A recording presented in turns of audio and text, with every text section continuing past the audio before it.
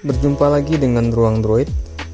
Di video kali ini saya akan menjelaskan cara install .os versi 5.2.1 official di Poco X3 Pro dengan kode name Vayu atau Bima. Kemudian saya akan sedikit mereview custom ROM ini dan seperti biasa saya akan melakukan tes performa di beberapa aplikasi benchmark dan game yang biasa saya gunakan di video-video sebelumnya. Oke, bagi kalian yang belum tahu, .os atau Droid on Time adalah salah satu custom ROM berbasis AOSP yang mengupayakan esensi dari simple, unik, dan aman. ROM ini menawarkan user interface yang unik, performa yang optimal, dan tetap memperhatikan keseimbangan antara performa dan daya tahan baterai.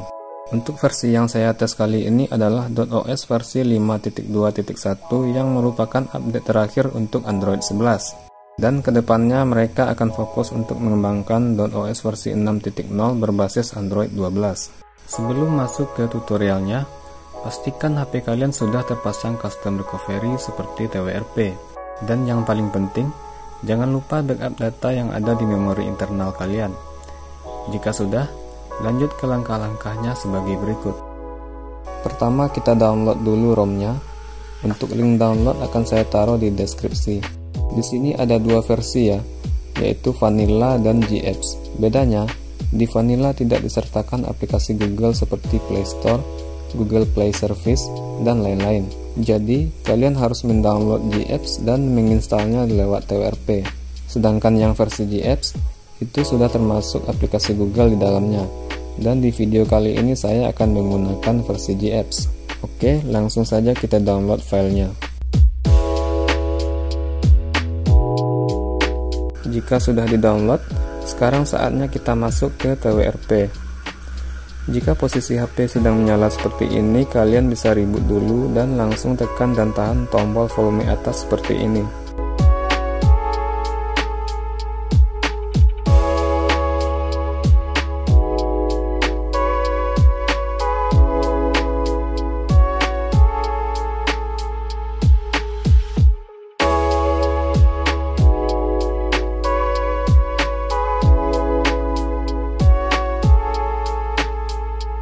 Setelah masuk ke TWRP, lakukan wipe data dengan cara klik menu wipe, kemudian advance wipe, centang bagian Delphic, data dan cache seperti ini,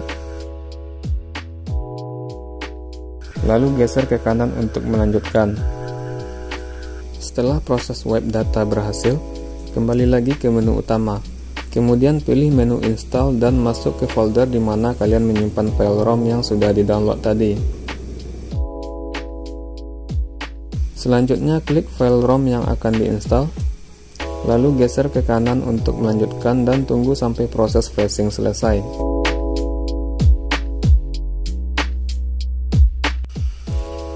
Setelah proses flashing selesai, kembali ke menu utama dan install file tambahan seperti Magis jika kalian ingin HP-nya di root.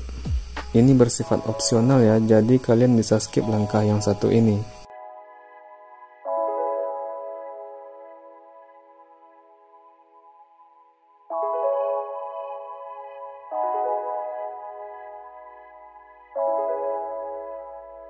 Jika semuanya sudah diinstal, masuk lagi ke menu Wipe, pilih format data, dan ketik yes untuk menghapus semua data di memori internal. Lalu klik reboot system. Kemudian tunggu sampai berhasil masuk ke halaman setup awal.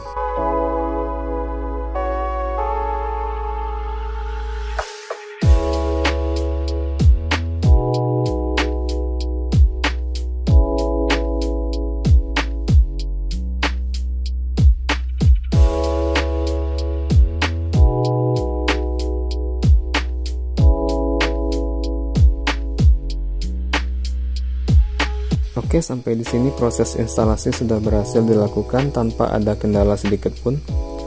Selanjutnya, lakukan setup awal sampai masuk ke menu utama.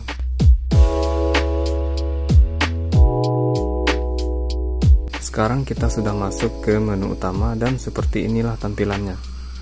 Kesan pertama saat mencoba custom ROM ini, tampilannya sangat simple dan user experience-nya terasa smooth banget. Kemudian kita coba masuk ke menu setting. Di sini ada sebuah menu khusus yang bernama Customizations. Kalian bisa melakukan kustomisasi seperti mengganti wallpaper, warna tema, icon, dan lain-lain. Kemudian ada juga fitur gaming mode yang dinamai gaming dashboard. Fitur ini tentunya sangat berguna buat kalian yang suka bermain game. Selanjutnya kita masuk ke menu tentang ponsel. Kemudian versi Android. Di sini ada logo .os dan yang kita gunakan ini adalah versi 5.2.1 dengan Android 11 untuk tingkat keamanannya 5 November 2021 dan menggunakan kernel Linux 4.1 dari Mochi. Kemudian kita lihat di bagian kamera bawaannya, dia menggunakan kamera Android standar ya, jadi ya kameranya terkesan biasa-biasa saja.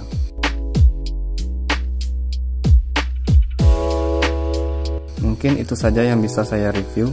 Selanjutnya saya akan menginstal beberapa aplikasi benchmark dan game yang biasa saya gunakan pada video-video sebelumnya untuk melakukan tes performa dari custom ROM ini. Oke, aplikasi dan gamenya sudah selesai diinstal dan sekarang saya akan membandingkan performanya dengan MIUI Global versi 12.5.5. Langsung saja simak videonya.